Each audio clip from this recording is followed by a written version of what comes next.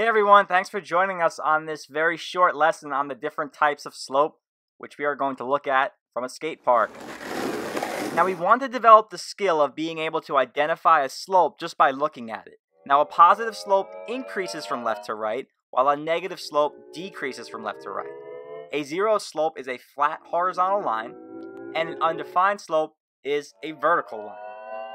So now let's check out these scenes from a skate park to help reinforce our understanding of what these kinds of slopes look like.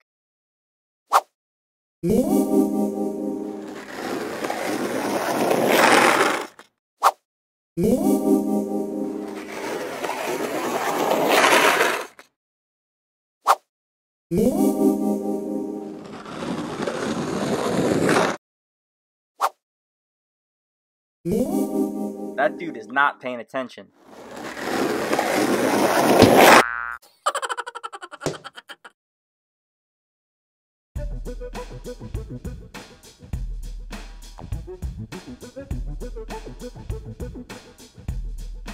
Thank you again, everyone, for joining us, and please reach out to us on Twitter at MashupMath. We are dying to hear from you, so please share some love.